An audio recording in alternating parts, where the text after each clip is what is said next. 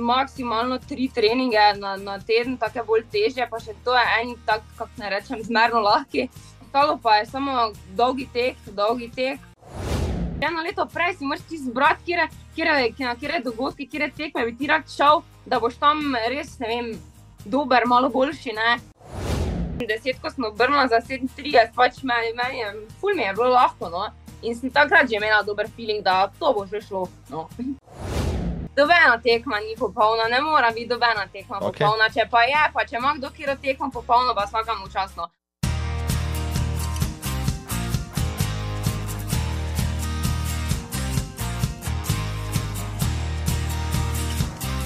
Dva nič sedem, spoštovane in spoštovani, je številka tega podcasta. Juli otvarjam s posebno gostjo v Maribor, kličem in že pozdravljam Špelo Gonzo. Živijo Špela.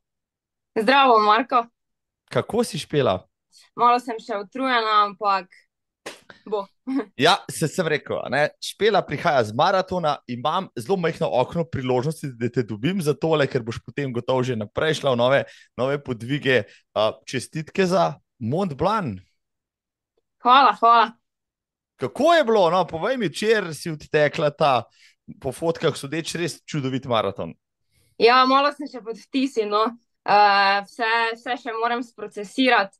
Uh, nisem še vse, ampak uh, fenomenalno je bilo. Predvsem sem si zapomnila navijače, to je, to je skozi celo progo, ne glede na to, da je bilo slabo vreme, ker ne. Na, na najvišjem, ko smo bili na najvišji točki, je fulde ževalo, pa megla bila, tam so bili ljudje, so navijali, res francozi so. Na vsake 20 metrov en stoji, pa ti ploska, pa ti zingla zvončki, tako da ne moreš se ne imeti lepo. No. Bra, mislim, Marsikaj sem že slišal ja, o teh maratonih, tudi v Mont Blancu. No, zadnjič, oni dan sem gledal eno serijo, mislim, da je bila na šport. TV, v šport klubu, v glavnem, o, o ravno seriji Golden Trail, ne, in so napovedali tudi Mont Blanc, in so nekaj futiča poslali, in se rekel, to bo pa zanimivo videti. No, in pol ugotovim po, na Instagramu, da ti tam tečeš, sem rekel, zdaj bom pa vse zvedel iz prve roke. Zakaj si se odločila za Mont Blanc? Uh, ja, že tri, tri let, dve, tri leta sem gledala to tekmo vsako leto preko prenosa, pa sem si rekla, enkrat mi jaz tu laufala. In pač zdaj je bila taka prilika, pa sem rekla, nič, te pa letos. Sam si se morala že. Ni, ja, ni, ni bilo vse tako, sem jaz hodila, da je, ampak kdaj pa je, kaj je optimalno, tako da ne vem. Moram, moram še enkrat ponoviti. No. to, to, to, to, to, to bi že če to povedala, ampak zdaj boš šla v detajle tega le maratona. Ne, zdaj, ena stvar me bega. Uh, ta vikend je bil tudi, mislim, da tretji v seriji uh, Golden Trail Slovenija, Mačarska, Hrvaška, ne na Hrvaškem, mm -hmm. je tako.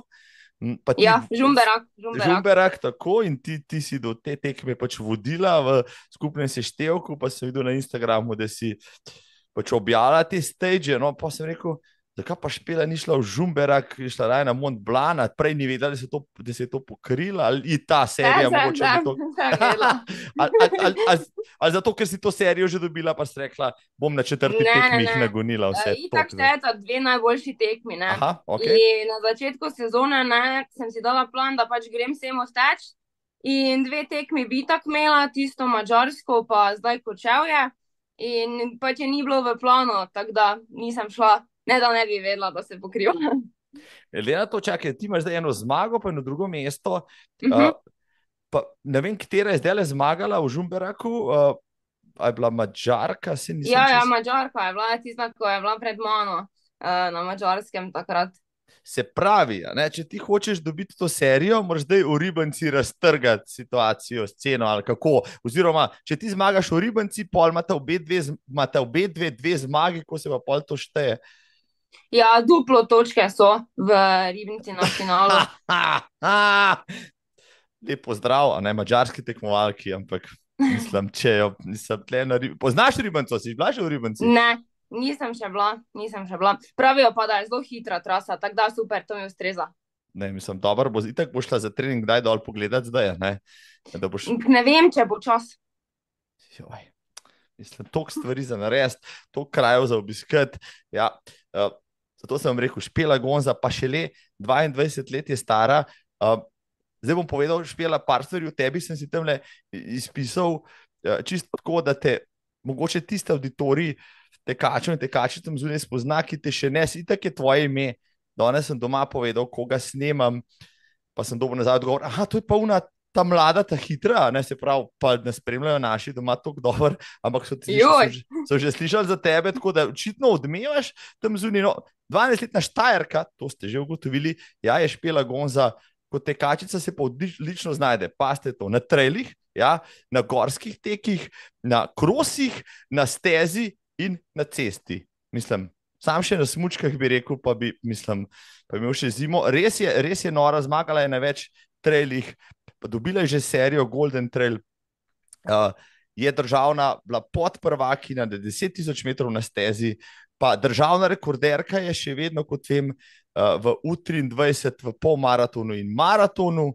Bila je na mladinskem svetovnem prvenstvu v gorskem teku, sicer pa teče za Salomon, na stezi pa je nastopala za AD. Štajerska in ja, sveža, še topla iz uh, maratona Mont Blanc, ki pa tudi šteje za svetovno serijo uh, Golden Trail.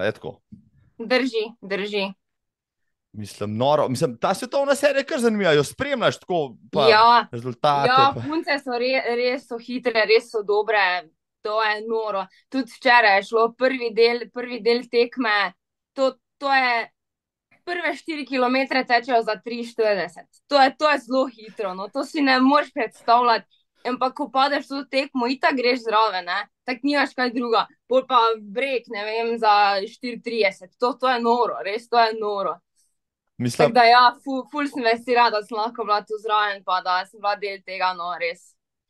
A, si se mogla ti tudi prijaviti regularno, tako si preteklo leto, ne vem, oktober, novembra, a si imela kakšne, glede na to, da si tekmovala kaj jaz sem, se, ja. jaz sem se februara prijavila, uh, pač da sem dobila elitno cifro, ker drugače mislim, da moraš iti neki žrep ali nekaj takega, ja. ne vem točno, kak je. Glavnem, jaz sem se dala, da sem dobila elitno cifro, pa sem pač tako startala. Drugače pa mislim, da se bi mogla regularno, ja. mislim to je za nas navadne smrtnike, ki gremo v žreb, ja, vržemo na kup denar, pa upamo, da nas bodo žrebali. Sicer tole je ogromen maraton, to sem gledal vem, na 4, 5, 6 razdaljah na maratonu, vzamejo vem, tis, več kot tisoč tekačev, pa na, te, na 23, ki pa na 90, ki mislim, to je kar glomazna reč. Ja, ja, ja pa imaš še neki Young Race. Um, sicer to ne vem točno, koliko let je, ampak ja, fulje, fulje razdalj res ta full veliki dogodek, pa tako se mi zdi, da živi to, to mesto za to. No. Um, res je bil fajn vzdušje, fajn feeling. Tako da, ko pritečeš tisti zadnji kilometr na, v, v mesto, to, to ne vem, to lahko nog ne čutiš, to več pa še vedno laufaš, pa se smejiš. no, mislim, da za lajke, ne tam zunaj, morda ne Mont Blanc, oziroma tista, tista dolina tam, kot Šamonija, gosti že UTMB, to je konec avgusta, uh, še par drugih trailov, pa ta maraton uh, do Mont Blanc, ki, ki ima kar. Če sem prav videl tradicijo, je že iz leta 79, to je pač najstarejša reč tam, pa še vedno popularna. No, in, prav, tam se skozi nekaj dogaja, očitno so res taki tereni, pa vse ja. skupaj. Se pravim, da to je mesto, ko rabim neko tako tekmo, ker res pač lahko slikam, ampak če si tam, je čist nekaj druga. Ne? da, jaz sem pogledal, na 42 km ste imeli 2 Jurija pa pol višinskih metrov. Ne, je... Ja, samo polje je bila neka, ne, neka sprememba proge in polje je bilo kar naenkrat 44 km, uh. uh, pa 2 Jurija 800 višincev, ker smo mogli neki prej iti gor. Tako da ja. Profilijo pa se gledal, pa je spomnil na Baško grapo, najprej ne, na 2200, pa dol, pa potem še dvakrat zahtevna kucla, saj tako na, na veliki skali, ne brž je bilo vmes še bolj razgibano. Kako bi, no, da mi ti upiši pač to progo, prosim, te lepo. Ja, še dobro, da sem se jaz profil prej pogledala, zato ker meni je ura zmrznila na 10 km. Pač ura mi je crknila, mi je ura. In še, še zdaj imam sfriznjen ekran. Tako da v bistvu sem celo tekmo tekla brez ure, nisem vedela, na katerem kilometru sem, koliko smo višincev naredili, pa samo koliko sem imela v, v glavi traso. Ja, v bistvu se je prvi del, se je ene tri, 13 km do prve okrepne, tu je neki 700, 750 višincev. To je tako zgleda, da ni, da ni uh, strmo, samo je, pač je. uh, potem pa priješ do okrepne, po pa se začne tisti brek, ne, to pa je res, to pa je res, to pa je res tip, ono stip. Um, po pa mislim, da, mislim, da je bilo tudi, zdaj ne vem, kako je bila to ta nova, ker to nisem pogledala. Uh, prej je bilo NS tudi 750, 800 višincev uh, do tega uh, najvišjega vrha. Um, potem pa je bil spust uh, do tega Valorsina, uh, tu je bila spet ena okrepna, pa sta bila še taka dva mala kucla. Uh, mislim, da v desetih kilometrih se je pol tudi dvignilo za Jurija Višincev. In od zadnje okrepne je bil pa v bistvu samo še spust. Samo tisti spust sem jaz pol mislila, da je pač spust, ne? da ni tehnični, ampak to so bile take skale in, in sem podla sem vmes, ne, tako ful, sem si mislila, ja, bom šla že kaj dol, se tako, ja, težko mi bo tako vsakim primerom, se pa spustila, ne. In pač sem se malo preveč. In je šlo, mislim, ja. brez poškodb, upam. Ja, ne, pač malo me boli vseeno, ker sem glih tako podla na glavo naprej, pa hvala Bogu, da sem si dala roke pod glavo, da se nisem na skalo. Glavnem, ja, Nisem še nikoli tako se izpodla, ampak očitno se je moglo enkrat prvi zgoditi.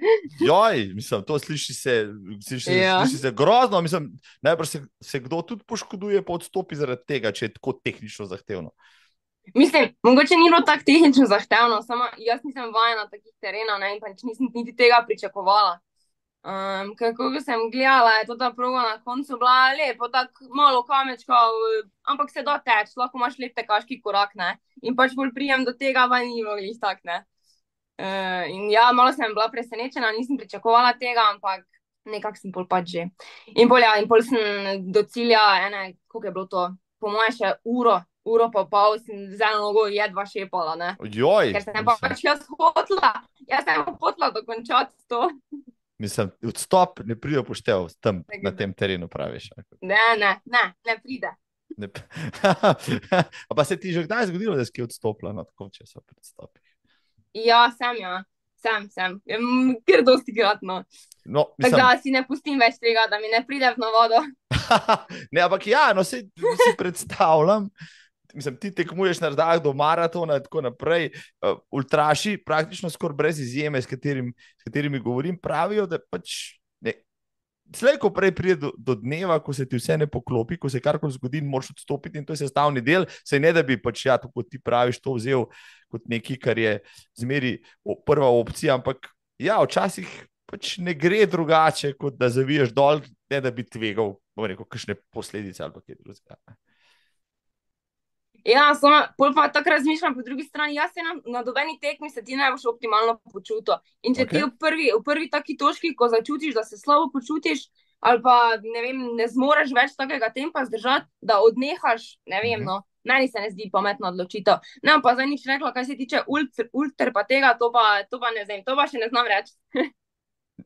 Vse se strinjam s tabo, ja, jaz sem, eto zdaj tudi, če nimam uradno nobenega odstopa, uh, uh, na eni dirki sem bil na pol metla, takrat, ko še ni bilo metal, to je že 15 let nazaj, pa sem, pa sem zamudil časovni limit, ker sem enega spremljal, pa sem šel vsem do cilja, tako da si nisem pustil, da bi mi DNF napisal. Ampak ja, no, nisem pa še probal kakšnih 100 milk ali pa kaj tazga, ker bi to lahko doživel. Ja, uh, meni se zdi, da recimo ti moraš skozi vsako tekmo, greš čez ziger, eno krizo, dve, tri. In pač moraš se čez to prebiti. Če pa ti imaš že na prvo krizo, drugo krizo, pač padeš, ne, pa, pa ne vem. No. Jaz ne razmišljam tako. Imáš prav, se mi zdi, da. Ja, pač tlek... moraš nekako svajtati. Ne? Ja, moraš svajtati, malo pobruhaš, malo poležiš, malo podriš. Ja, ja, mal, ja. Ne vem kaj, ne? ampak čez naslednjo uro pa lahko že bistveno drugače.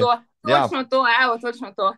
Mislim, dobro, okay, če si nekaj življenjsko ogrožen, pač ne greš z glavo skozi zid, ampak če, pa, če so pa manjše krize, pa najbrž, najbrž ni tako težko. Zdaj mi še malo piš, Mont Blanc. Pa, ne vem, kaj mislim, ti si tekmovalka, ti si osredotočen na tempo, na tem, kaj, oziroma se vzreš. Ja, brez ure, ja, brez ure. ok, nis, torej nisem imela zdaj ure in sem lahko malo pogledala okrog sebe, tam, ker ni bilo meglen, pa deževan. Kaj vidiš? Nisem imela kaj dosti, ker je bilo ful megleno. Ful je bilo megleno, nič se ni videlo. Še dobro, sem šla dva dni prej na najvišji, najvišji punkt, da sem se malo razgledala, pa poslikala, res. Veš, saj kakšno fotko, ampak je lepo, kaj bi ti rekla, recimo, ok, pa slovenski hribi poznamo, pa Alpe, pa Karavanke in tako naprej, Julice. Uh, pa pa prideš tam le gor v francoske Alpe, ne, pod Mont Blanc, ker je teh 2-3 tisočakov ne broj. Kako pa tam to zgleda? Mislim, ti mi upiši, no, sigurno znaš bolje. Ja, pač na sliki zdaj boš ti rekel, da je samo lepo, ne? To ja. ne moreš opisati, to je pred tabo, eno dosego roke ga imaš, pa ga nimaš? Mhm. Re, res je lepo, ni nam kaj druga za reči. UTMB pa je tudi na tvojem, pač v reku, bucket listi, na tvojem seznamu. Uh, zdaj še ne ciljam na to, ampak enkrat bo pa prišel. Zdaj so še neke druge tekme, splošno prej. Mm, to prije še, to, to nisi še tako daleč. pa ja, no, pa, mislim, toliko stvari imaš še za upraviti. Uh, špela Gonza, ne, ti si že kar nekaj cajt na sceni, se pravi, kar ne morem verjeti. Govorila sem pred dvema letoma, za en intervju, pa zdaj, takrat si bila stara 20, zdaj si stara 22 let. Dogaja se, kariero imaš pa že tako, kot bi bila saj 10 let starejša. Um, ena stvar mi najprej povej, letos boš 23, a letošnje leto še spadaš v 23, neč več. Ja, pač tako je. Na stezi ne, ne. na mhm. stezi hmm. sem že članica, ampak zdaj so naredili neko mm, posebej kategorijo v toti Golden seriji v 23, tu noter pa jaz še spadam. Tako da pač nekje ja, nekje ne. Na stezi pravijo, tekoče leto, ker dopolniš 24, nisi tu 23, ali kako neki tam. Ne, nisem več na stezi, nisem več. Dobar, uh, se, sem že članica. Se na stezi si naredila, oziroma na cesti tudi, ne tisto, kar si hotela. V 23, pa greva nazaj, zdaj koliko let mora iti nazaj, da pride do leta, ko se špela spozna z atletiko, s tekom, s, pač s tem vzdržljivostnim športom na način. Tekom, s tekom, ja, to ne vem, to je ne, vem, tretji razred, tretji razred, četrti. Ampak to je bila ona atletika, eh, ko smo se med dvima ognjema igrali. Zakaj si začela trenirati, oziroma je kdo prepoznal v tebi siloviti talent, ali si sama bila taka, da si želela nekaj? Pa ne, pa rekla sem, da bi atletiko trenirala, pa sem napisala starša, pa pač sem trenirala atletiko. Pa, a za te, a zaradi tega, ker v pernici ni bilo nobene druge možnosti, ali zato, ker je ta atletika toliko boljša kot gimnastika ali pa rokomet ali pa ne vem kaj že. Ne, v bistvu sem jaz bila skozi tak, da nisem mogla biti na miru, nekaj sem se mogla delati, ko sem laufala po bajti. Pač ve, vedno, vedno me je bilo polno, vse posod ne. In jaz sem prav za taki neki šport uh, bila. Um, Ko dolgo časa traja, in pol sta rekla, ja, ok, idi laufat. no, in pa si šla ti laufat, in pa si nažgala vse svoje sošolke, in so rekli, to je to. Ja, ne, pa sem bila full časa, sem laufala uh, neke krajše razdalje, 400, pa 800, pol sem te na Jure pa pa šla, pa sem tako počasi šla na, na neke bolj daljše razdalje. Ja. Ampak vse to je normalno, ni tako, ne bodo te dali 12 letnice, sigurno ne bodo dali ja, 5 ur, ampak mogoče 800, še 1500. Ne? In kako si se pa, mislim, ti počutila na teh zdaj, stezah, to si hodila na neke kakšne tekmovanja, kakšen miting, kakšno državno prvenstvo, kako ti je to ustrezalo takrat? Ja, če zdaj gledam tako za nazaj, ne? jaz niti nisem poznala tega, kar poznam zdaj vse. Vmes sem še jaz bolj kontrenirala kolesarstvo, malo en cajt. Uh, recimo tega nisem poznala, nisem vedela, kaj je trail sploh, kaj da, da na cesto nisem vedela. Sem v bistvu samo tisti krok poznala in pač to smela, to je bilo to. Uh, nikoli mi ni doben malo nekaj širšega pokazano, ampak včasoma pač vidiš, da še pač nekaj več obstaja. Kako zaideš iz teze, mislim, ali pa iz, iz dvorane in tako naprej, iz tartana? na gorski tek. Ne? Ker ti si šla potem to tranzicijo, si kar upravlja, nisi šla na cesto, ampak najprej v, v hribe, če se ne motim, dejansko v gorske ja. teke. Ja. Ja. ja, ne vem, mislim, da je bilo tako, da sem imela en, en mesec pauze poleti. Ja, pa sem se kar prijavila na en tek na Golte, pa je bilo še državno prvenstvo takrat, no, pa sem tisto zmagala, jaz sem pa začela lovati to. Mislim, brez veze. Mislim, ti, kje si pa našla ta tek? No? Mislim, kdo ti je za to povedal? Si sama pač naletela? Ja, ne. Ko sem imela pauzo, pač je mama rekla, ja, aš bila tu en tek na Golte, če bo šla. Pa sem rekla, ja, ne, pa sem, pa sem pač šla. Mislim, nisi edina, no, ki na teh Golteh vzela. stopenco za, za svetovno prvenstvo. Koga si takrat premagala, si še spomniš? Uf, joj. Nuša je bila, Nuša, Nuša Mali, je bila, ja. Tako, ja. Mhm. pa Katja, pa pa zna, spomnim več. ja Nu- Nuša pa Katja, ni, ni- ni od dve, se spomnim. Pa Maja Per, Maja Per še je bila, ja. Ja, ker smo bili pol skupaj v Andori, ja. Ja.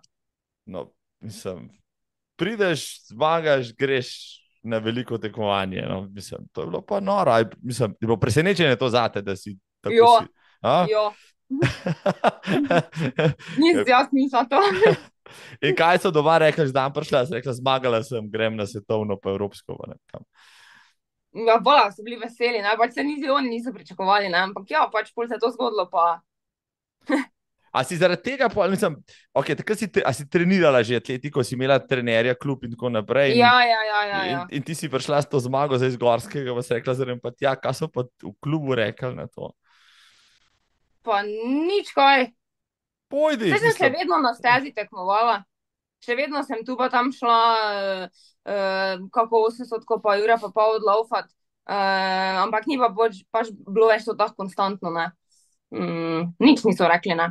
Ne, pol sem pa, pol sem pa šla kolesarstvo za ene, ne vem, ko je bilo, pol leta, pol leta. zakaj pa kole, tako- mislim, to, me zdaj, lej, najprej si na stezi kar dobro, pa greš se državca v gorskem, in tako vse dobiš, pa greš na svetovno, pa pa evropsko.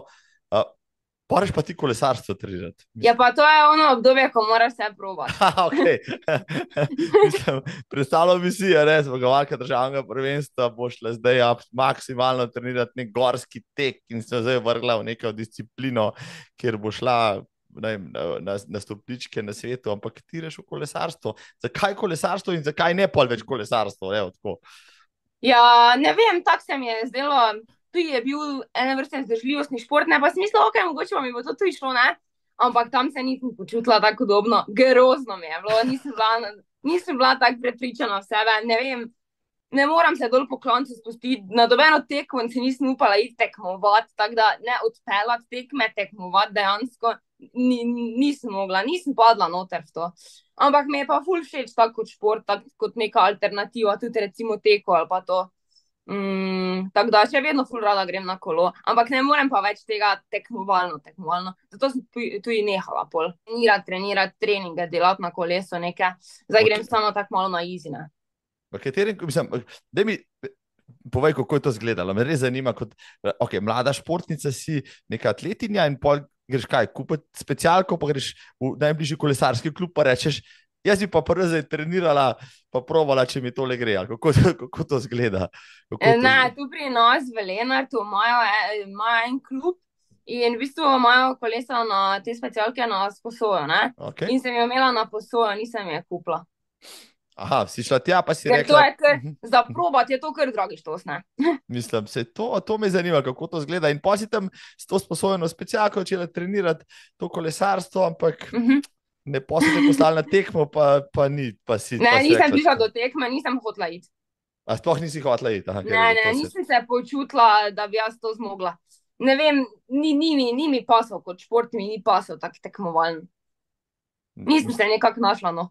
No, pošteno, se, evo, jaz se tudi nikoli nisem, jaz se tudi ne upam spustiti, ne brez brems z jeserskega navzdola, ne, tako kot se eni upajo, ne, potem drugače se moraš upati to, če hočeš kolesarstvo, pač trenirati si potem šla varno nazaj in kaj, v gorski tek spet pa na stezo pa. Ja, ne, pol smo pa z Borutom začela, ne. Pol smo pa z Borutom začela sodelovati in pol sem pa še zdaj maratone prešaltala. Nisem, tebi se je res veliko dogajalo, pa greva še nazaj na, na, na, te, na, na Patagonijo, na svetovno prvenstvo. Mislim, to je bila Uf, kje je že to, kje je že to? To, ne, ampak kakšna srečka dobitna je to? Ne? Greš na tekmo, zmagaš in ti rečejo, ne sem to, tle imaš pokal, pa to ali leseno medaljo, karkoli že. a ne. Greš zdaj v Argentino, pa ti rečeš, pa, mislim, ajde, no, pač tazga, sicer.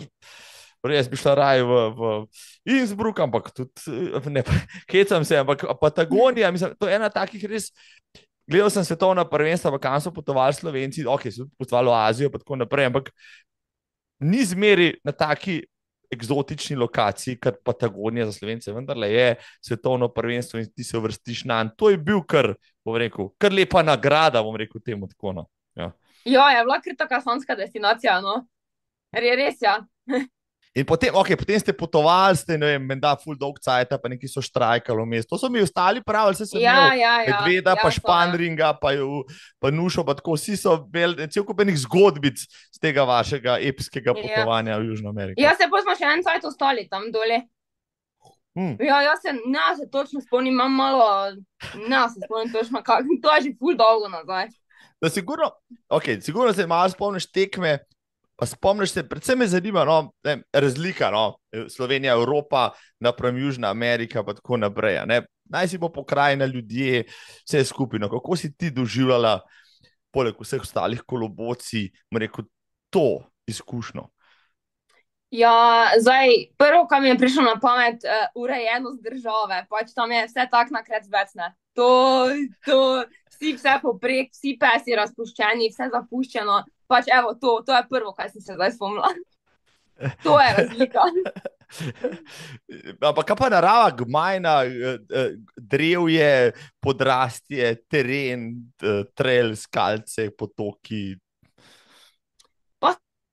To pa ne bi rekla, da mislim drugače. Ja, definitivno je drugače kot pri nas v Sloveniji. Ampak tako bistveno, bistveno, tako recimo včeraj, to pa ni. Ne?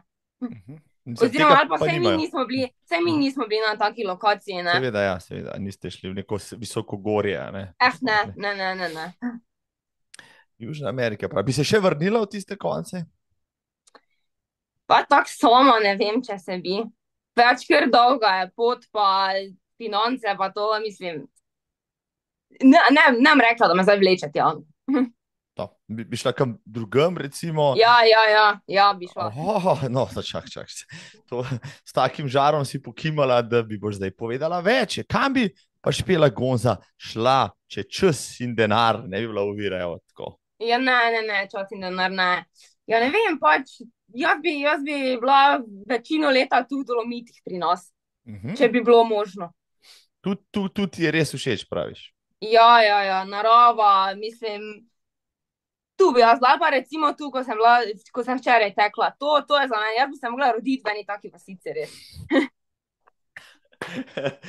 ja, pozdravljamo vse tam le v Pernico, pa v Lenart, pa tiste le goriške gorice, ampak ja, ti praviš, ampak ja, ta vikend je bil tudi Lavaredo trail, ne, ki pravzaprav Ja. poteka, da si že blag daj na, na tej dirki. Ne, ne, nisem še bila, to je, to je še ena na koledaru. Mislim, fan, gleda tudi fantastično, no, pa tiste tri cime, pa tako naprej, pa mislim, Ja, ja, ja, ja, ja. kdo ne bi tam tekel, no, da. Pa, greš pa tja, ne, morda na priprave kdaj, do, do, do tiste konce, ali? Ne, ne, nič, kaj se pravim, ne, da ni kaj dosti časa za priprave. Po zimi, kaj smo, kaj smo na pripravah bili letos v Montegordo, to drugače pa ne nahodim nekaj fulosti na priprave. No, zdaj, ok. Pa če so pri tvojih treningih, pa se ovrnila še k cesti, v maratonu, zdaj, če so to kot teh trelih, mi moraš povedati, um, kako se je špela Gonza pripravila na te svoje, bomo rekel, maratonske podvige. Ne? Zdaj nisi šla v še ultra vode, prav je tako, ti zdaj mojstriš hitrost, pa zadeve med 25 in vem, 40 km. Kako se pripravljaš za tole, bomo rekel, dokaj hitro, a ne, trail disciplino? To ni prav veliko počasne hoje, pa selfijo. Ne. Ja, to je kar na Um. hart. Ja. To, je, to je kot cestni maraton, Ja, na hart. Ja, tako. ja pač jaz nisem kar do, kaj dosti spremenjala treningov zdaj v, rečem, zadnje dve leti, kaj to tečem trele, uh, ker se mi tudi zdi, no, nočem prehitro nekih novih, ne, kako naj rečem, dražljajev v svoj trening program, ne.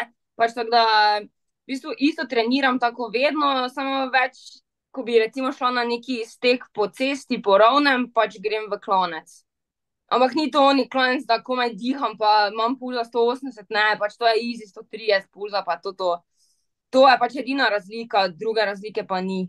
Pa enako treniram, kot prej za na cesto.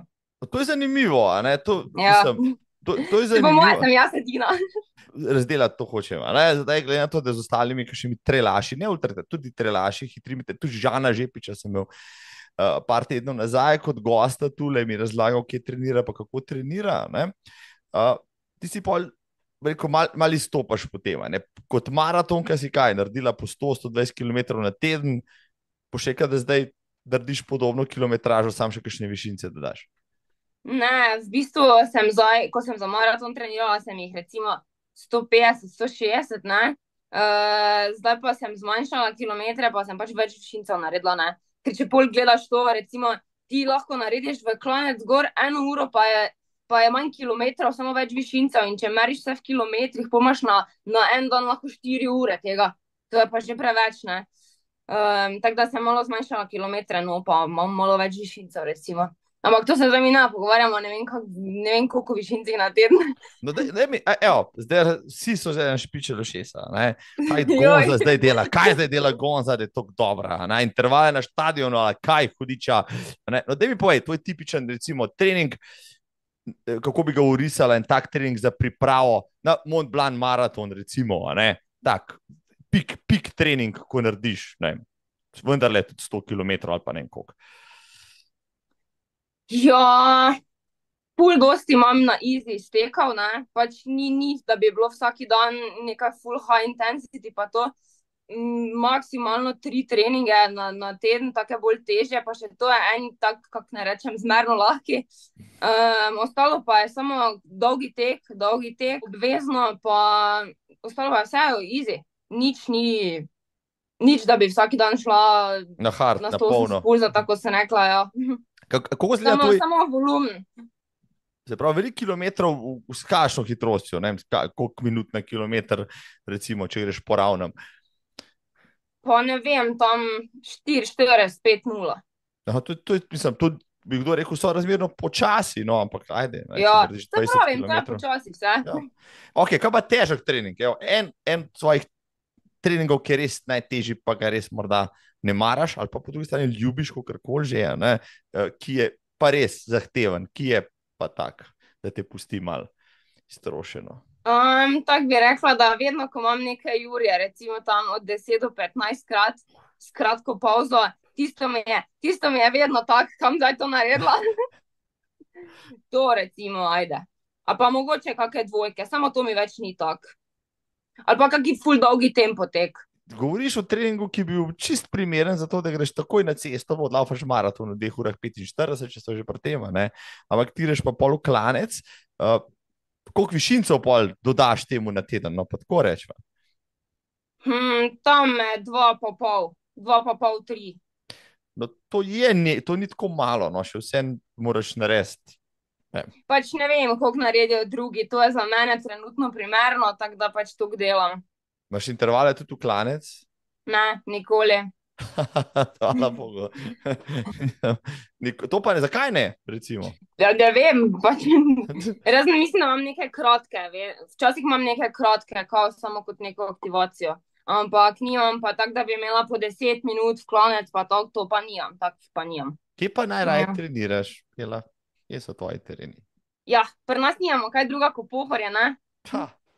In, in Ja. pohorje poznaš, eh, bo rekel, vsak kamenček, vsako sem rekel, vsak jezerček, vsak, vsakega svista. Ja. Do oreha, do oreha, pri nas vem, vem, vem vsako cesto. ja. Mislim, se ne navelič, tega se ne moreš naveličati, teh je toliko, da se jih. Ne, ne, ne. Pa meni je še dovolj, da skozi grem po isti, pa da je tišina, pa mir, pa to to. Se pravi, uh, muzike ne, ali pa kaj drugega ne poslušaš med tekom. Um, če, če imam neki full dolgi trening zraven, zraven, ampak ponavadi še vedno sem izklopila, pa dala ven iz uh, ušes, ker ne moram poslušati, ko, je, ko sem sama. Zanimivo. Ne moram, pa ko sem v naravi. Če pa grem na cesto narediti stek, pa avti mimo vozijo, pa obvezno, pa na, najve, pa na najvišji volumen. Kaj je za te najdaljši dolgi tek, evo, ki ga narediš pred nekim gorskim takim maratonom? Ja, sicer ta dolgi tek sem naredila full dolgo nazaj, ker sem imela zdaj tri tekme mm, na dva tedna. Zdaj sem naredila tudi dolgi tek pred prvo tekmo, uh, tudi v Madžarsko, pa je bil dolgi 4 ure pa pol. To je največ, kar sem naredila. 4 ure pa pol, poljubno ali kjerkoli, ali dodala še nekaj višincev v to zmes. Ja, pač. Ne, pač 4 ure pa pol. Uh, in je bila fora, da je takrat glih sneg zapadel, ne, in nisem mogla iti dlje kot do Belvija, ne. Uh, mogla sem pa cel čas teči, pač ni bilo nekega power hajka vmes. In uh, nisem mogla dlje kot do Belvija iti, in sem mogla iti štirikrat do Belvija. Koliko kilometrov je pa to znesel? Uf, kaj te vem, koliko je bilo. Ne vem, ker sem imela na čas in sem gledala samo, da bo štiri pa pol. Zdaj prav, a, a ki analiziraš, kaj imaš, Garmin, eh, kaj Coros, uh, Ja. Sunto, kaj, kaj uporabljaš? Zdaj sem imela Garmin, pa me, pa ne vem, zdaj bom zamijala za Sunto. Eh, za Korosa. Ja, no, praviš, da, mislim, Ja. pravijo, da je boljši ali kako. Je, bolj- Ja, ne vem, to bom pa videla. pa, pa si daješ to kam na stravo ali pa kam na kakšno socialno? Ne, ni, nimam strove. Nimaš strave, kako to? Zigar so ti že rekli, špela, pridi na stravo, da te bomo malo špionirali. Pa, pa meni je samo žice, da se samo nekdo z nekom primerja, pa to pa. Pač, Ne rabiš tega. ne rabiš. maram jaz tega. Ne, arabi, mislim, pošteno, direktno, res. Uh, super si mi pogovarjati s tabo, ker si tako energična, pa neposredna. Evo, mislim, da poslušalstvo in gledalstvo tudi uživajo v temu. Ja, evo, špela, kdo je zdaj tvoj trener? Si sama svoj trener, imaš kakšnega trenerja? Ne, imam trenerja, imam trenerja. Okay. Kdo pa je, če ni skrivnost? Uh, Matic Habuš. Okay. Predtem si uh, pa trenirala pri Borutu Podgorniku, drži. Uh -huh. Ja. No, Borut Podgornik, te, kje te je on odkril, mislim, kje, kje si prišla do, do njega v bistvu takrat pred leti? ja, v bistvu sem jaz šla do njega, Uh -huh. ker takrat sem glih imela tudi tranzicijo mojo iz kolesarstva, ne? Uh -huh. pa sem rekla, da bi pač prišla nazaj na stezo, ne? na cesto, na stezo.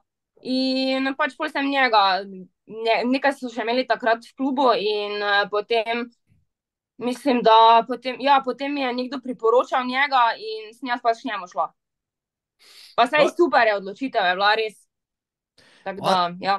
Kaj ti je on najprej rekel? A špela, ti boš, eh, s tebe bomo naredili maraton, ko špela, s tebe bomo naredili eh, tekačico na 10.000 metrov. Kaj je bil? Ne, v bistvu, v bistvu sem začela tako na Jurja pa pol. Mhm. Uh, pa pa smo šla na tri, pa na pet. In potem mislim, da je, mislim, da je Mitja Krevs šel na en pol maraton v Zagreb. In potem sem jaz tudi šla, ker je Borod rekel, idi probat, pač kako bo, bo, ne. Pa sem šla, pa sem laufala, mislim, da ena 18, pa tudi smo bila ful presenečena, no. In tam si odkrila svoj talent za hitrost na ravnih. To je bil, je to ta starek polmaraton v Ja, no- starek, no- ja, starek je bil, ja.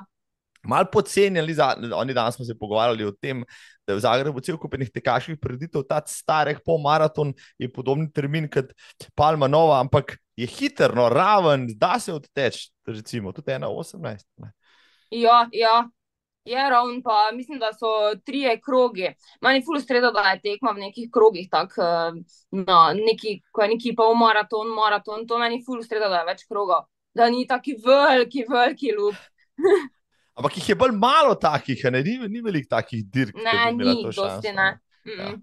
Ponavadi še na maratonu se tekači pritožujejo, če je maraton v dveh krogih, a ne bog nadej, da bi bil kakšen več. Po drugi strani je pa to taka pre, predvidljiva, pa zihar tekma, točen veš, pa navijačev je več, pa vsega, kaj pa vem. Ja, vse to, ne, ker če, če imaš ti neki krog razpotegnjen, potem navijači ne bojo celih 42 km, ne. Če imaš pa ti manjši krog, pa ne vem, tako se jaz mislim, no, pa bo zihar več navijačev. Meni pa to, meni to ful da energijo, to, to, ko prideš mimo, pa ko navijajo za tebe, to, to kot da ti noge namesto tebe premika, res. Mislim, da, jim povej, kje v Sloveniji, ne znaš veliko na slovenskih dirkah, je, je bilo najboljše vzdušje, kar se ga spomniš. No? Ja. Ja, to bi rekla, da sem, ko sem med, pred dvema letoma Vipovo tekla. Uh -huh. To bi rekla na Vipovi, uh, pol pa v Ljubljani, valjda, ne. Hvala Bogu, zdaj v Ljubljani še kdo pride v progo, ampak lafale si samo polovičko, tako da si izkoristila maksimum navijačev, kar je možno. Ja. Ne, v Ljubljani sem tekla desetko, ker sem Pol potem imela, Ja. tisti, tisti teden sem imela, mislim, da oni five stage race na Madeiri. Tako da sem šla samo desetko. Kako je šlo, pa kakšno dobro ti je šlo na desetki, kar? Uh, tak, tak, no. Tako sem bila že malo, tako sem bila že malo z glavo na neki drugi tekmi, tako da v bistvu sem pač samo odtekla, no. Teda ni bilo tako, 36, ali kaj sem šla, 36, 15 ali nekaj takega. Dobro, za slovenske razmere pri ženskah to niti ni tako slab rezultat, Ja, vse je bilo vrijo, samo pač malo sem bila bolj več sposobna, no. Okay, ja, to je prav. Eh, Five stage Madeira, če jo že meniš, kaj je to? petih, v petih, petih zaporednih dneh smo imeli tekme In mislim, da je bilo prvi, prva dva dni je bila 30, 30, pa 30, pol tretji dan je bil kao neka varianta kronometer, pol pa sta bila še dva dneva po 30, menda, ali 28, pa 35, nekaj takega. V glavnem, da pet dni tekmuješ. Noro, kakšen Ja, in koncept, pa smo imeli mislim, vsa, vsako tekmo, je bilo še uh, neki uphill, downhill, pa sprint segment. To je bilo vsako tekmo, ja. Koliko se je pa bilo, mislim, tekma, ki jo nisem imel na radarju doslej, pa ne, ne spomnim se, da bi mi kdo razlagal o njej, ti si pa bila tam. Ja, to je, to je bilo, ko sem zmagala, to, to, ko zmagaš overall, ne? Pač je pol to bil finale na Madeiri. Tako je zdaj letos v, Špi, v Švici, uh, je bilo to na Madeiri. To je bilo predlani. Ko, ko zmagaš eh, Golden uh, Race Series ali kako. Ja, ja, to, ta, to je Golden Train National Series, pri nas. Aha, to, to je bilo v bistvu, aha, če To zmagaš, so National loka- Series. če nacionalno serijo, oziroma več Ja. nacionalno serijo zmagaš, te pošljejo na finale. Potem, uh, Mhm. se pravi, tja ne moreš priti kot tekmovalec izven tega, moraš se tja kvalificirati kot zmagovalec. Prav. Ne, ne, mislim, da se lahko prijaviš, lahko se prijaviš. Aha, se lahko. Aha. Ja, samo pač tu imaš, eh, tu je all paid, ne, pač ti imaš vse plačano tu. Če zmagaš. Ja. Ja, pa če se uvrstiš, mislim, da pr, pr, prva dva se uvrstita, ne, Se pravi, kje pa je letošnje leto finale? v Švici.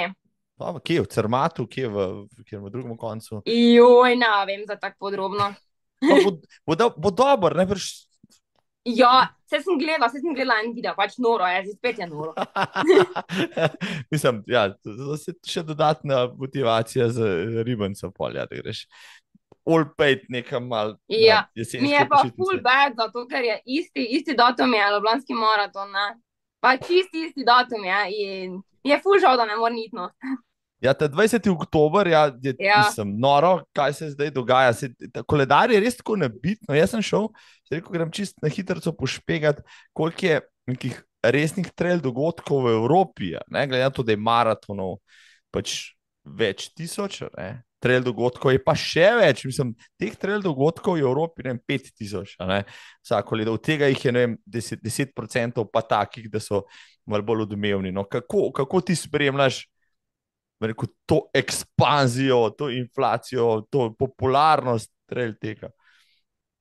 Ja, ful je nekih dogodkov pa tega, tako da ti moraš na začetku sezone, oziroma že eno leto prej, si moraš ti zbrati, kire, kire, na kire dogodke, kire tekme bi ti rad šel, da boš tam res, ne vem, dober, malo boljši, ne, ker če greš ti vsak teden na eno tekmo, ja, saj greš lahko, ja, samo boš pač prišel do cilja, pač kak boš prišel, ne.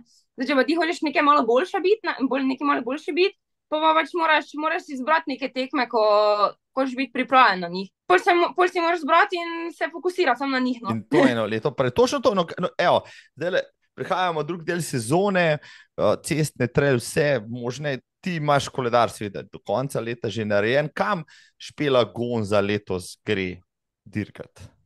Uh, zdaj imam v planu še eno tekmo v Avstriji, ko je tudi um, del te serije Avstrijske, ker tam pa je Avstrija, Nemčija pa Švica. Tako da Ok. grem eno to tekmo odteč, ker mi je ful fajn, ker je konkurenca, pa pač dejansko lahko tekmuješ, pa pol pač vidiš, ki si, ne. Ful je širšem merilu, ja. Tako, Ja, ka- kam greš to? Kje, je kje je to? Evo, kje je to, da malo razširimo obzorja? Na Tirolskem neki, To imaš v A. juliju, še avgustu, kdaj imaš? 3. august. Ta, sem zdaj biti toplo ali pač ne, ne vem. Koliko zahtevno je, koliko dolga je. Uh, 28 km pa Jurija 600 višincev. Ajde. ajde. Samo ima ful lepi profil, tako da mislim, da mi bo strezalo. No? Se pravi, dirkaška, tekaška, hitra. Ja. Je, mislim, da je tako, da ima, da ima samo, samo en klonec na začetku, po pa je gor tak, gor dol, gor dol, gor dol, po pa dol. To je super. Mislim, ja, praviš, hočeš se preveriti. Zdaj le na Mont Blanu nisi bila najbolj zadovoljna, praviš, bi lahko bilo Da. boljše, kakšne pol urce, koliko bi bilo lahko boljše. Ja, ne vem, koliko bi prej jaz prišla to moje šepasto nogo. No. Mislim, bi, si bila, bi bila sposobna odteči tole pod petimi urami. No, se Ja, ja, tako. ja. Ker v bistvu je bil zadnji del spust, ne? In pač, če, če me cel čas šepala z eno nogo glih na spustu, ful dol spustiš, če se ne spustiš dol, ne? Če ti počasi laufaš dol, te hi, hitreje zgubljaš čas, kot pa gor, ne, valjda. To je res. Ja. Se pravi, danes, kako je danes z nogo? Ja, pač malo me vse boli, no. ampak je boljš, ni, ne bo treba iti k doktorju. Ne, ne, ne, malo imam še za teče, no, ampak drugače me vrejo. Mislim, zelo enostavno. Ja, ja, lepo ste povedala. Mislim, joj, mene je nehalo vse boleti, kot ti praviš. Malo mal sem še pala eno uro, malo zateče, no pa v redu bo super. Je. Kar teč bom šel zdaj le s svojimi zatečenimi gležnji. Um,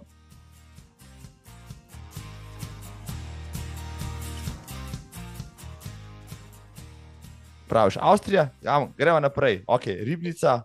Ja, pol grem na ribnico, uh, pol pa en teden kasneje pa grem še na eno tekmo v Avstriji. Tista pa je ful težka. To je pa kaj, maraton? Uh, ne, ne, ne, tisto pa je finale avstrijske. Mm, ampak to pa tudi grem samo zaradi tega, ker je ful velika konkurenca in mi je pač to všeč. Ne? Je pa 2 ura višincev, pa 32 km menda. Dva ura pa je kar nekaj, ne? to pa za 30, pa se mi zdi kar dosti. No. No, ja, mislim. Um, smo bili tudi na dirkah, so pol krajše, imamo dva ura višinca, ampak te, temu bi danes rekel Sky Race. Ampak normalen trail, normalen trail, ima dva ura na 30, ja, to je že kar, že kar zahteven trail. Uh, kaj pa še, še kaj, ja, potem si rekla, pol greš na finale. Po, ja, pol bom, pol bom po mojem šla odstači desetko v konice. Ah, um, ko je državno, prije malo nazaj. no, to pa tako, da ne bodo se konkurentke prešli dahle, gonze ni. No, no, no, no, no, no, no, no. no, no če, če, če, ja, no, če, če gonza pride, pa pobrala bo medaljo, zdaj vprašanje sem, katero. Sej, ja, ok, konice, še kaj. Pa... Um, ja, pol pa je, pol pa tako že finale, to ti v Švici. Mislim. Pač, upam, da prijem tja, no. ja, lej. Jaz bom letos v Ribnici, to kalansko leto, v startnem ciljnem prostoru in bom rezultate skozi spremljal in bomo, mislim. Le, da boš upravičila, da bomo veliko popolagamo, vate špela, da dobiš. Ja, jaz sem dala vse od tebe, pa bo kaj bo. ja, je pentiš na domačem terenu, pa dvojne točke, pa ribenca, mislim, super bo. Se že veselim, evo, zdaj se sploh veselim. Uh, špela, evo, greva nazaj, kakšno leto, ko si bila na stezi. Uh, greš na državno prvenstvo. Govoril sem že za, za Lizo Šajn, takrat. ona je takrat tekla na tistem državnem prvenstvu, nevrjetnih 33, pa, pa neki pod 34, no tudi ti si na tisti tekmi briljirala, če, če se prav spomnim. Kozjem, ne, to misliš. Tako, državno ja. prvenstvo kozjem, takrat ti in, uh, in Liza sta, bom rekel, nagonili tisti čas, najboljši slovenski, bo rekel, dolgo progašici, ne jo kršinar, pa Anjo Finka. Ne? Mislim, kakšna dirka je bila to, no? to mi razložite. Tekla si malo čez 35. Ja, nisem pričakovala tega, res ne vem, ki si to vzela. Uh, ne vem, tako na začetku, pa glih je bilo po maratonu, ne, pač ne bi si tega nikoli mislila. Um, ne vem, tako je bil fulmijen, na komeren tempo, tako lahko se mi je zdelo, no tako ful sem se fajn počutila. Pol na koncu pa sem se pač samo odločila, da bom šla mimo, pa sem pač šla. Sej ne vem, kako si to naredila, samo pač mi je ratalo. Mislim, to je kar hiter tempo, to ste mogli začeti kar, ne vem, 3, 20, 25, ne vem, kaj. Bilo... Ja, mislim, da so takrat bili krogi za 1,26, 86. Pol na koncu pa sem šla ful hitro, ful hitro sem zaključila, to tudi nisem vajena od sebe, ampak ja, se zgodi. Mislim, noro, takrat so ti pole rekli, mislim, špela s tebe, pa še bo neki na, na stadionu. Mislim, pe, teh 25 krogov je kar psihično, tudi naporno. Ja, ja, ja, je, je res je. Pač, jaz bi rekla, da je desetka na stezi, pa na cesti, to so dve različni disciplini, to ni Prav. deset. Res, ker to, to je res čist drugo, je. ne moraš. Ko kar imaš rada kroge, to krada jih pa nimaš, teh te bili 400 metrski, to pa ni več. Ja, ne, ne. Mislim, to je najljubša. Okay, če bi ti rekel, eh, disciplina na stezi, eh, pa če bi mogla primerjati 1500, 3000, 5000, 10000, kje ti najljubša od teh? Oh, kaj te vem. Dobena mi ni nekaj ljubo, no ne vem, kaj bi rekla. kaj sem pričakoval ta odgovor? Kakšno vprašanje? Nekaj takih vprašanj. To ni vprašanje, brez veze. ja. Mislim, odlično si šla, 35-07 je odličen rezultat, ki ga še zmeraj držiš kot osebni rekord, na cesti si šla mečkam počasneje. Ampak, uh, ko so zadnjo govorila, ja, dve leti nazaj si takrat rekla, ok, tečem trele, 30 k in tako naprej. Pa tečem pol maratone. Ne? Malo predtem si v Splitu, na tistem Splitu sem še celo bil. Spomnim se, da sem se motil tam pod podritvenim odrom, ko rečejo, špela Gonza in ti preletiš gor, pobrat za 1,18, pa še državni rekord v 23. Mislim, da mi je nekdo tam pravil, Lindiča, ne vem kdo, ne? pa sem rekel, to je noro. Uh, no, takrat si tekla še pol maratone. Mislim, uh -huh. pre, pa mlada si bila 20 let. Kdo se je potem odločil, da boš ti pa zdaj poskusila tudi najdaljši uh, razdalji atletski v maratonu? Ti, trener, oba dva skupaj. Ja, pač se jih kot tekač, in tako vedno gledaš k tej razdalji. Ne? Vedno imaš to v glavi, ne? da če tečeš, pač enkrat boš to pretekel. Ne? Tudi če si star 20 let. Mislim, pač ja. ja, itak, mislim, tudi, ja, ali pa 21, ja. Tako. Ja, no, in pa mi je pač dal Borut idejo, da on misli, da sem jaz dovolj pripravljena in pač jaz pa sem tako gledana. Mislim, kaj se je pa spremenil? Pa sta povečala kilometre, povečala se. Ja, ja, to je me on prek, to nisem jaz nič, to je on, on zna. In si se ti lepo odzivala na ta trening, mislim, ti je bilo preveč, kaj si trenirala, je bilo treba tudi dvakrat na dan, kaj delati, mislim, za 150. Ne, v bistvu sem bila presenečena, kako sem se na kilometrino to odzvala. Ne. Pač, ker je bilo kar dosti kilometrov, nisem bila nikoli vajena to kilometra prenarediti. Mm, ja, nič, dobenih poškodb, ni nič, moram potrkati. Kar. to je kar veliko, no, 150 km, sprav to je več kot 20 na dan, poprečno. Pa niso vsi izteki. Rekel, no. Ja, vse ne, ampak dosti pa. Mislim, ja, okay, nariš pa dva, težka na teden, moče tri. Ja, dva, tri. Ja, ja. ja. Dva, Potem, tri, ja. Kdo je izbral pa Hanover za tvoj pre premjerni nastop na maratonu. Tudi Borod, tudi Borod. Ja, sem rekla, da nočem za prvega nekega takega velikega maratona, ampak ta je bil ravno prav. Mislim, zelo razmerno hiter, ja, Hanover je tudi znan, potem zgodil v sezoni je, ni bilo vroče, najbrž ali kako, aprila. Ne, mislim, da je celo malo deževalo. Te je bilo kaj strah na štartu? Ja, ful. Če se te je bilo pa najbolj strah, da slišiš? Ja, pač to je tisto nervoza, ko ne veš, kaj pričakuješ. Pač prvič, ja, prvič greš, sploh tako da razdaljo, prej samo, pa ne vem, prej si šel dva pol maratona ali tri mogoče. Pač in to je čist nekaj novega, vala, vala si nervozna. Kakšen je bil plan, špela? Kaj ste se zmenili s trenerjem? Kako štartati, kaj narediti, kaj na polovici, kaj na 30-ki? Nič, v bistvu je bil samo neki tempo plan, drugače pa drugače pa pač z glavo laufaj. Da, kaj, laufe, začni 3,45, pa ne popuščaj na kilometr, na kaj 3,50. Ne vem, kakšen. Ja, ja, mm, provala sem čim bolj enakomerno tečne. Mislim, ker, dobro, če odlaufa še 1,18, to je, vem, tempo, kaj, 3, okrog 3,40 na kilometr, dobrih 3,42, 3,45 mm -hmm. na maratonu. Koliko si imela na polovički, se spomniš? Uh, ja, ena devetnajst, ena devetnajst, ja. To ni dosti počasneje, hočem reči, kot tvoji polmaratoni predtem. No, to je bilo kar hitro. Ja, zato ker nisem do enega polmaratona zlofala, tako bi mogla za to. Ampak tu leti je pa, to je pa šlo, ena devetnajst si šla na pol in si bila, kako si se počutila tam, zdaj pa, nis, ni, zdaj pa ni bilo več toliko strah. No, to.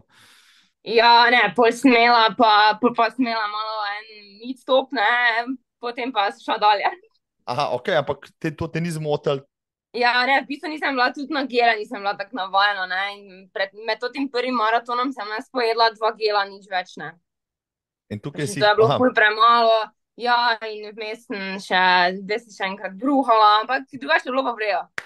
Sem vse si naredila, kaj izkušene maraton, ki delajo na olimpijskih igrah, že na svojem prvem maratonu, mislim, ne morem verjeti. Mislim, ka, kakšen talent za maraton si, kakšen je pa bil okvirni cilj. No, je bil kakšen cilj 2,45, ne vem, kaj, kaj je ta zgo. Ja, tu me 2,40, 2,44, 45, tu je.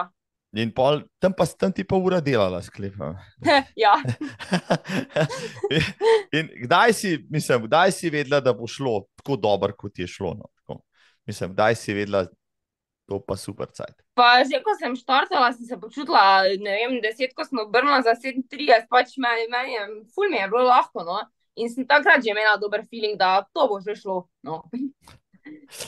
Tej, vala, vala prije kriza, vala, če ne, če ne prije kriza, pol ne vem, pol ne laufaš, ne, pač prije kriza, samo pač greš mimo, ne. Na koncu si obrnil v 2 urah in 43 minutah, kar je bilo takrat kar novica. No. Vem, da so vsi mediji povzeli to, da, da, da je Slovenka odlafala maraton.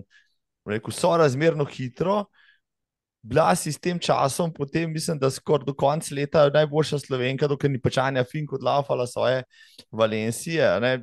Mislim, s takim rezultatom bi deset let nazaj bi bila kandidatka za B normo na olimpijskih igrah, recimo deset let nazaj, da se pač to zaostrilo. No. Kako se ti je zdel, ko si prišla v cilj z 243? Ja.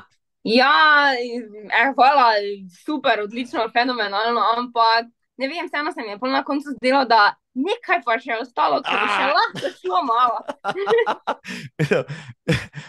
a, a, a si perfekcionist, ki sem tukaj tam, vidim, da si trmasta, nepopustljiva, uh, zelo, bom rekel, to samozavestna, tudi sproščena, kar se tega tiče, da če pride v kakšno oviro, jo znaš preskočiti, ampak a si samo kritična tudi, oziroma. Odvisno od situacije. No? Odvisno od situacije. Recimo tu, zdaj na maratonu, pač Ja, jaz tako rečem, vedno, vedno bi lahko šlo še boljše, ker je tekmo. Dobena tekma ni popolna, ne mora biti dobena tekma okay. popolna. Če pa je, pa če ima kdo kjer tekmo popolno, pa vsakam včasno. Meni se še ni to zgodilo. Mislim, točen to, pred 22, še ne moreš imeti popolnih tekem, čeprav jaz sem svoj maraton popolni, pa koleč boljši od teku, pred 23. Tako da, ja, pa zdaj tugujem za tistimi časi ko si šla od cilj, trener je bil zadovoljen, ti si bila še tudi zadovoljna, rekla si, ok, izgubila sem minutko tam, levo, desno, ampak pustimo to. Kaj je bilo pol naprej plana? Gremo še v te maratone ali ne, zdaj bomo čez poletje delali trele, pa bomo jesen poskusili, spomladi poskusili. Uh, ja, pol, pol, sem, pol sem imela, pol sem imela pol, ne pol sem to do desetko odlovila v kozjem. Tako, uh, pol ne vem točno, kaj je bilo, pol sem imela neko pauzo zihar. Potem pa sem, pri, pa sem letos uh, sem v Barceloni maraton tekla, samo pač sem ga ful slabo tekla, ker sem tudi imela neke težave, vem, sem za tem govorila. Ampak ja, pol pa, ja. pol pa sem pač uh, zdaj šla v trail. Tako da, ja. Tak da me še čaka dolg, imam še na cesti. Ja, no, dej, če vse gre na Barcelona, jo, bil sem dvakrat, mislim, da sem bil dvakrat, celo trikrat tam. Meni je fantastičen maraton, posebej če je tisto pravo, rekel pomladno vreme, uh, ko je recimo v Sloveniji takrat še kakšna trda zima, greš tja, konc februarja, začetek marca, tam je prijetnih 15 stopinj, vetrič piha z, z morja, pa se potem pod kamp, kamp nova greš, pa potem, no, mislim, porambli, kako si ta maraton, ok, rekla si težave so bile, tam je bil plan, kaj, narediti boljši čas. Ja, valjda, se to je na vsaki tekmi, tako ne. Dem, štartala si torej na polno, ali kako? Ja, ja sicer ne bi zdaj tudi tekmi preveč govorila, no, ampak. Ok, ne bova, ne bova šla v boleče, ni šlo po planu, ok, šla si pal počasneje kot planirano, zdaj Kaj pa je to zdaj pomenilo za tvojo nadaljno maratonsko kariero? No, ja, nič, da treba delati na tem, pa dalje, pa gasa. Kdo pa je Barcelono izbral? To smo se pa odločili zaradi tega, ker sem jaz imela že v začetku, v začetku sezone, sem imela plan, da gremo na ta Mont Blanc. Ne? In je pač bil to edini maraton, ko je bil tako zgodaj, pa da mhm. ni glih preveč preblizu tega bil. Ja, wow. Tako da sem pač bila Barcelona edina opcija. Naslednje leto, ne, Okay, zdaj vmes, okay, z Borutom ne sodeluješ več, si mi rekla, ne, uh, da imaš drugega trenerja. Uh, ampak kot maratonka pa še zmeraj ustajaš rekel, v planih za naprej. Kako, cest, ja, ja, ja, to, to imam še dolg na cesti, tako sem rekla. To še prijemo tečen dober maraton, 1, 2, 3, 4. Se pravi, za drugo leto spomladi te lahko pričakujemo spet na cesti, da boš maratone obračala. Ja. ja, ok. No, okay. Zdaj pa to, sigurno si že koledarček gledala, pa si rekla, kam bi šla. Ja, to še nisem tak. To še, ni, to še nisem tako točno, kam bi šla. Imáš pa, pa že mesec določen, ali kako, kdaj bi to moglo ne, biti? Ne, ne, ne. ne februar, marc, april. Bom, bom počakal na začetku leta bolj, um, ker potem, potem pride neka druga vrsta. Ne? um, ne, vem, ne vem še za naslednjo leto točno. Ker, okay. No, da se je Varili, ne spoštovana publika, vi že veste, ki spremljate ta lepot, ki je dolg časa, pa maratone nasploh. Tudi januarja se da teč hiter maraton, pa februarja se da hiter, pa, pa marca, pa tako naprej. Teh maratonov je zdaj tako velik, da je predvsem dilema, kjer ga izbrati med vso to množico. Jaz verjamem, da boš izbral enega hitrega, tudi spomladi cel kup hitrih maratonov. Um, drugega ne ti bodo drugi to sugerirali. Kam pa misliš, da lahko sežeš svojim maratonskim časom? Provokativno vprašanje. Pa, ja, ne vem, zdaj se tem ne ukvarjam. Ne vem, zdaj ne zdaj je rekla. Zakaj ne? Da recimo, ok. Ajde, stara si, ok, 22 let.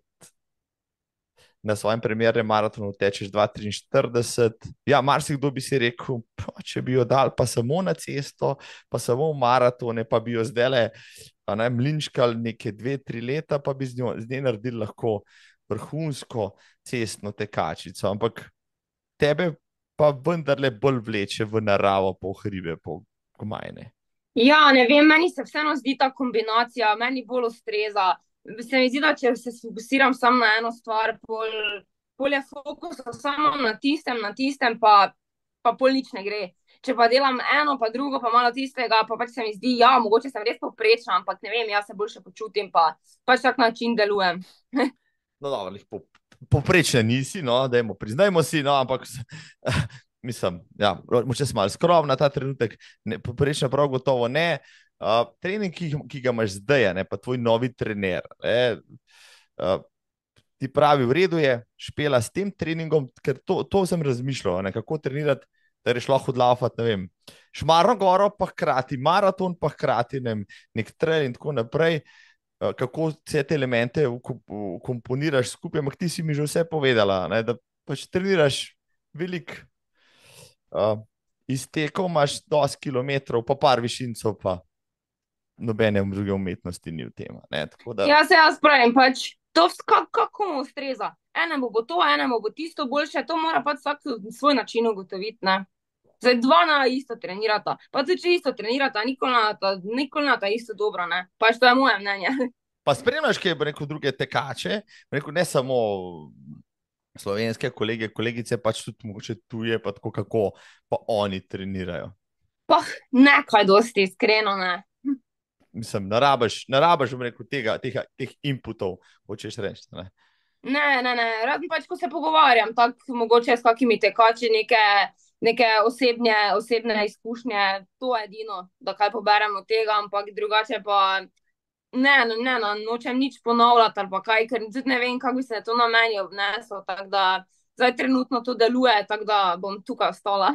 Se pravi, ja, tudi zaradi tega nimaš strave, pa študiraš vseh ostalih, kaj delajo, ne, pa si zapisuješ, pa analiziraš njihove srčne utripe. Eh, eh, ne. no, prej, prej, prej sem začela to lestemati, sem se pogajala v Stravi, ja, pa si rekla strava. Kakšna strava, lepo te prosim. Ne, ne uporabljaš, ne rabiš tega, ne rabiš gledati drugih, ne rabiš se sama pohvaliti pred drugimi.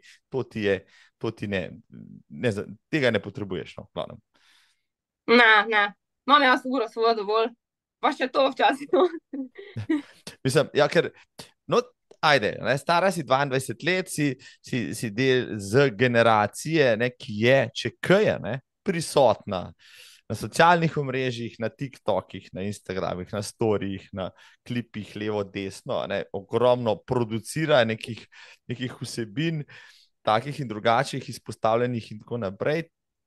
Ti, te, če pogledam tvoj Instagram, se ne, kip, ne kipi ravno vsebine, obstaja, objaviš še story, pa tako naprej, nekih objav, nimaš milijon, ne vem, na TikToku sklepam, da nimaš svojega kanala, kjer bi. Nim, ali pa tako naprej. Mislim, kakšen imaš ti odnos nasploh do tega, oziroma do generacije, ki ji pripadaš, ki pač je kuhana in pečena praktično na spletu. Jaz in telefon ne gre skupaj.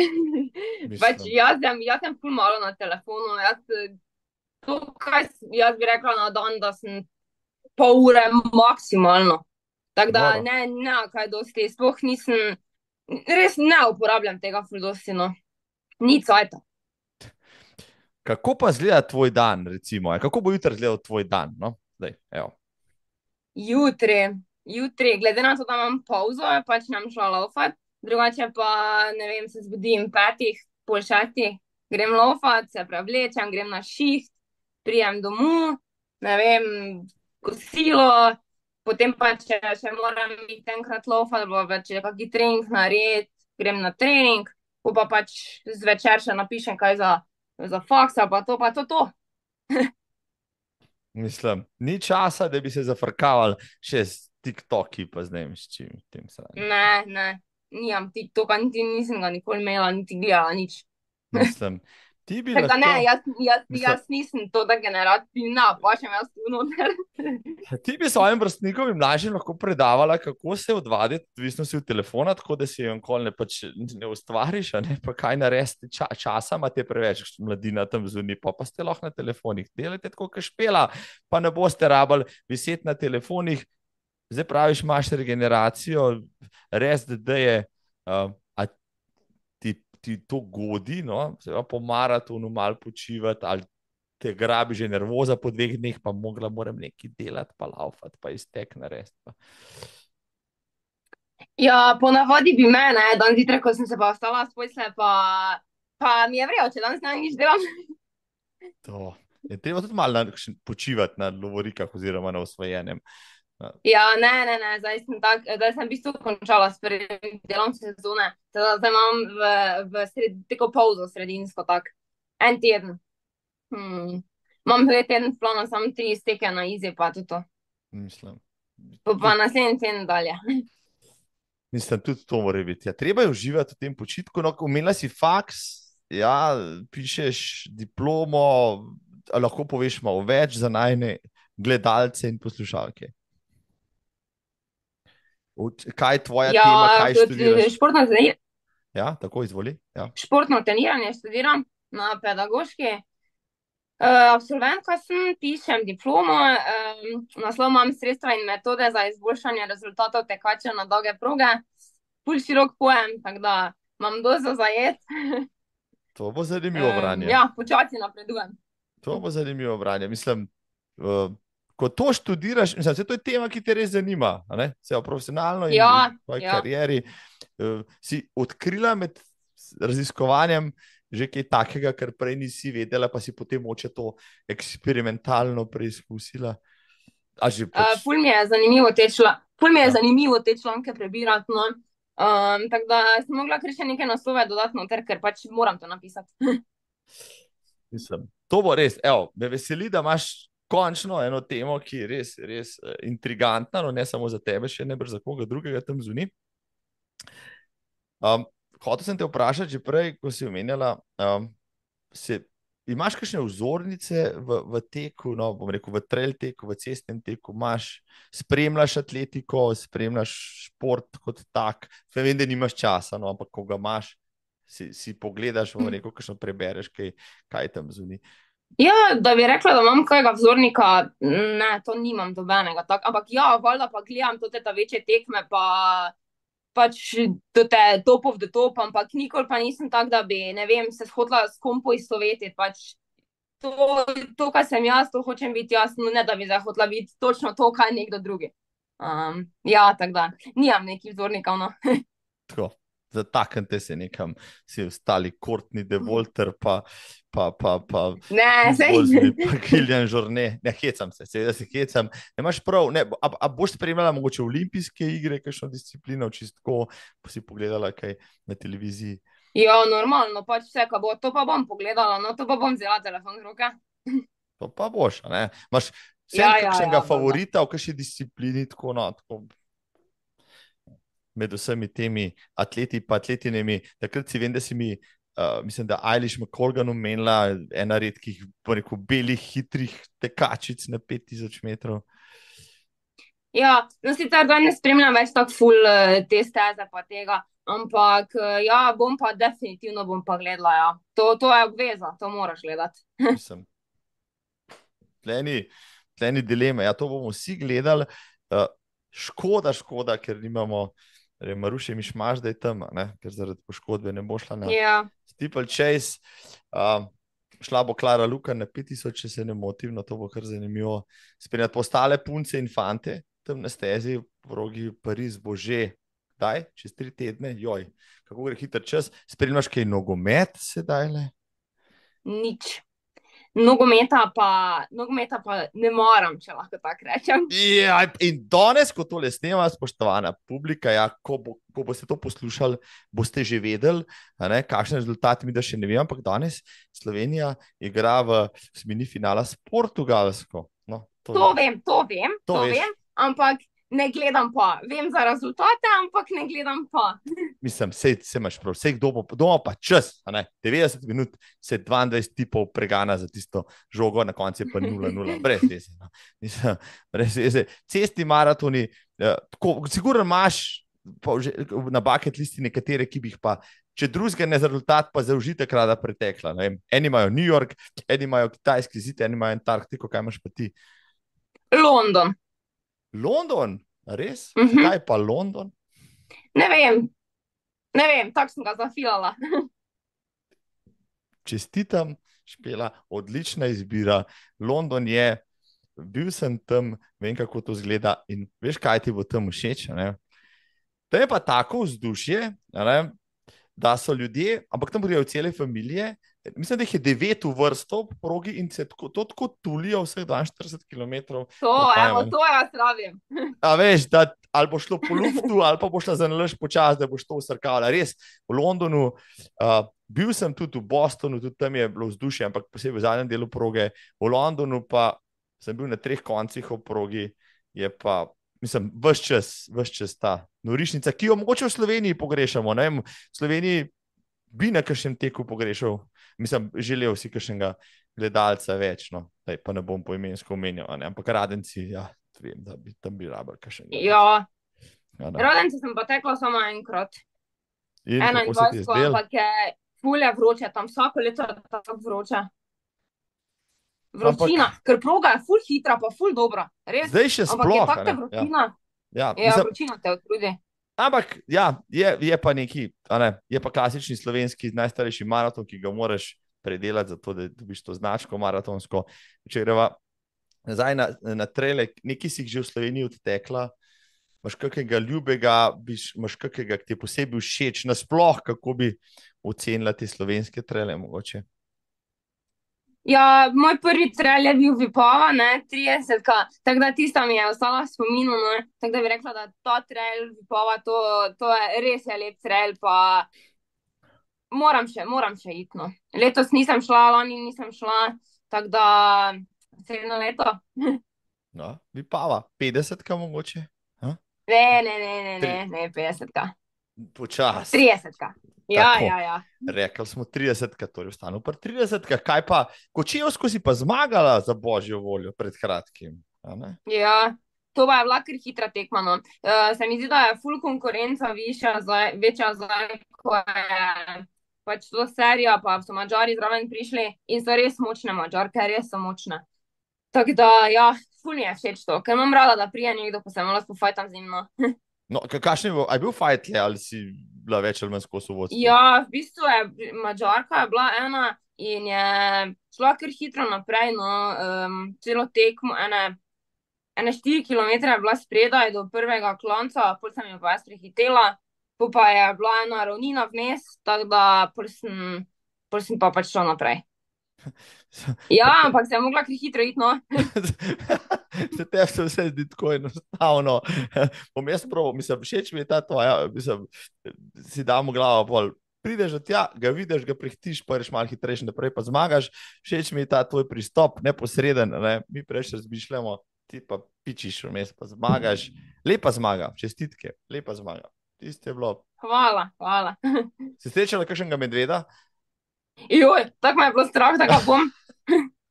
Vse mi je skozi že rekel, da, da, da, da se jih ne rabim bati, sem vseeno ne pač. ne, dejansko je, so medveda tam že srečali, v ri... takole, v Ribancu greš. Uh, mislim, da dve ali tri leta nazaj je zmagovalec, mislim, da je najdaljši uh, lež debeljak, uh, srečal medveda tam. Ja?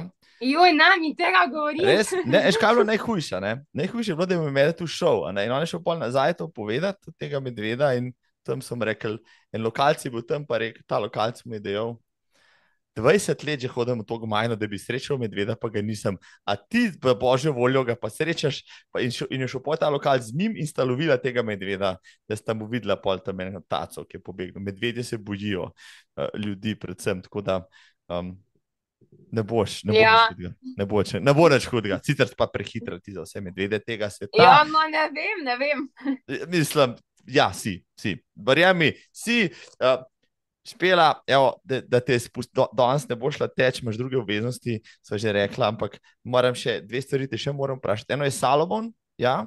Um, vem, da, da, da Žan Žepič je tam, pa Anže Sobočan, pa še nekaj vas je. Kako si ti zašla v Salomonovo ekipo? Uh, v bistvu, mislim, da ena tri, tri leta nazaj, um, pač so me kontaktirali in sem pač zdaj v ekipi noter tu. Oziroma, oni so te poiskali, pravzaprav, oni Tak. so te. Či Ja. simpel, či simpel. Pri tebi je vse tako simpa. Oni so te Ja, poiskali, rekli, špela, dobra si, greš zraven in si, si šla zraven. Si že prej tekla v Salomonkah, v njihovi opremi, morda ali si pol se mogla navaditi. Ja, to pa sem, ja, to pa sem, to pa sem. Uh, čevlje sem imela njihove. ja. Ti, ti, torej ti ustrezajo, očitno ti, očitno ti ustrezajo. Ja, Salamonov šuh je res dober, pač nimam kaj za reči. No. Pa tudi zdaj cestni. Cestni šuh je to te karbonke, svetovne so, svetovne, nimam kaj za reči. Res, pul lahko pohvalim. Da je nehi. Mislim, se pravi, in Res, karbonke, in res. trailke, Moraš vse. probat, moraš probat. Mislim, Pa nisem to zdaj rekla zato, ker imam to te, ampak res so dobre, no, res so dobre. Glede na to, ne, da se je na trgu, bravo, ne, teh karbonskih copat res zgodila revolucija v zadnjem letu, ko so ostali proizvajalci začeli dohtevati Nike. Ne, in zdaj pustimo to, ne, da sta Nike pa Adidas, moče za razred boljša, za nas rekreativce je popolnoma vseeno. ne. A ne, Vse, hočeš reči, da je tudi Salomon naredil copat, ki je na cesti hiter odziven in s katerim se da odlaufati. Dva, tri, Ja, meni je, meni je res ful dober. Ja, jaz bi rekla, da meni bil boljši od Nike. No. Noro. Pa sem, ja, pa sem prvi maraton sem otekla v Alfa Flykah, ne? ker pač jih niso imeli še takrat.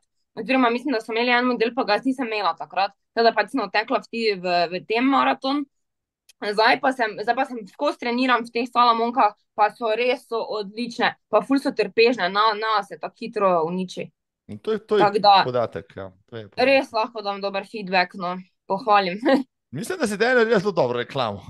Yes. Ja, si naredila zelo dobro reklamo, verjamem, da uh, Salomon, seveda smo povezali s tekom, ok, smo ga videli tudi na cestnih tekačih, ampak nismo ga imeli pa za resen copad, zdaj si ti naredila izjemno reklamo med rekreativci tudi za Salomonke s karbonsko ploščo. Uh, špela je poleg vsega, kar so zdaj že povedala, tudi veganka, a drži. Ja, to pa drži. Ja. Mislim, zelo energična si za veganko, ne hecam se. Joj, Kaj? po nesrečne šale moje. Ne, to sem se nalašč rekel, da bo že sobočen mi lahko poslal še kakšen re- recept, kako dela to food doma. Tu se spet hecam, malo se hecam, ne, ne, ne mislim, stereotipi so pač tam zunaj, da, da vegani uh, pač so bolj letargični od, od, od mesojecev, ampak če bi tebe pogledal, bi rekel ravno obratno, a ne, zelo dinamično. Že dolgo nisem srečal tako živahne in energične sogovornice, tudi v tem podkastu, kar prikipevaš od neke energije. Um, veganka Joj, si, ja. res, to moram, moram povedati. Tako me te dohajam, se, se, se, se trudim. Zakaj si veganka? Um, pred tremi leti pač tako sem enkrat dobila neko idejo, ne. Um, pač ful dosti, ful dosti, v bistvu je bilo takrat ful dosti reklam, ne. Uh, tega, ja, to pa to. Uh, po pa sem Ano Čufer, sem spet spoznala, ne, in ona je tudi veganka. Mhm. In ja, in pač mi je malo pove- povedala svoj pogled na, na to, pa sem mislila, ok, vrijo, jaz bi pa tudi bila, ne, pač mogoče zaradi tega bom videla, kako mi bo šlo, pa pač kako se bo moje telo na to odzvalo, ne. In takrat sem probala, pa pač ful dobro sem se počutila, nisem nekih sprememb začutila pa to. In ja, in pač to, to že štiri leta pa pol, štiri leta pa pol. Ti nič ne primankuje, vse. Pa Paziš na hrano ali pač ješ tisto, kar ti paše. Pač eh, do neke meje, do neke meje. Pač vem, kaj bi bilo fajn jesti, tisto pojem, pač kaj se mi zdušta, tisto pojem. Nimam za neke, pač neke take striktne prehrane. Pač, ja, vem, kaj treba jesti, to jem. Ono pa pač po, po, po, po želji. No, najljubša hrana, ki vsebuje veliko beljakovin, pri špeli gonza je. Fižol. Da, to, v, v neomejenih količinah. Mislim, fižol je vrhunski. Fižol, kako, ga, na- kako ga pripraviš, oziroma kakšnega ne ješ? Um, ne vem, ponovadi si dam solato. Ali pa kaj še, pa ful rada spečem uh, lečene žemljice. Pa što se zdaj sliši tako, da ne vem, kako izgleda, ampak danes pa ful dobro zgleda, res. Top. Da imam kolega, ki prideluje fižol, pa bom rekel, naj te sponzorira s kakšnim žaklom. Evo, tako bom rekel. Deklica je na glas povedala v mojem podkastu, da rada je fižol, tega danes ne slišiš. Jaz sem, naravno obožujem fižol, tako da če bom kdaj vegan, ja, bom tudi bolj na fižolu. Sem špela, le, kljub temu, da hitro govoriš, pa veliko poveš, porabila že uro pa pol za tole. Ne bom te več mučil, te bom pa nekaj vprašal. Lej, pri 22 letih imaš za sabo ne vem, že desetletje neke atletike, uh, veliko si že naredila na vseh področjih, uh, imaš plane, nimaš časa, ker toliko stvari počneš v življenju. Ampak imaš nek dolgoročni plan, ok, želim si to pa to še v teku narediti, a greš with the flow. Bolj tak sem with the flow, ja. Pač nimam nekih dolgoročnih ciljev, ker meni gre na žice vprašanje, ko me ljudje vprašajo, ki se vidiš čez pet let. Kje se ja, Pač ne vprašaj me tega, ker ne vem. Mislim, da noben ne ve, pa vsi neki predvidevamo, kje bi želeli biti, pa nikoli pol tam nismo, pravzaprav.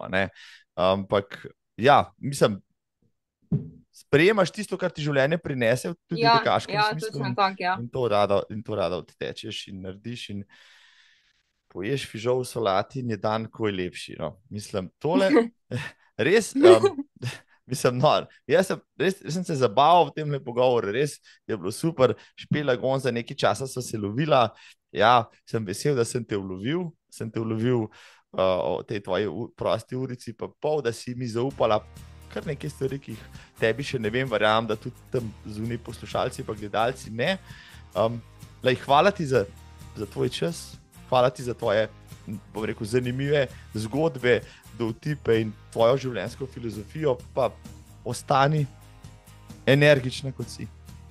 Hvala, Marko, tebi za povabilo. Hvala. Ko boš šlej, se bova še. Se, se bova še dobila, te kdaj še kaj poprašam, ko boš zmagala na kakšni taki resni tekmi, pa boš vedela, kako se s tem počutila. Pričakujem v treh stavkih. Prišla sem, pa sem videla tri pred sabo, sem jih prehtela, nisem mogla, pa sem zmagala. Evo, tako, tako. Evo, vse tako ne gre. Po- Naj, da si ti čim prej ta poškodba noge pozdravi, evo, da te vidimo, se srečava v ribnici, pa rečeva še kakšno živo. Tako. Super bomo. Hvala. Hvala, srečno, čau. Adijo.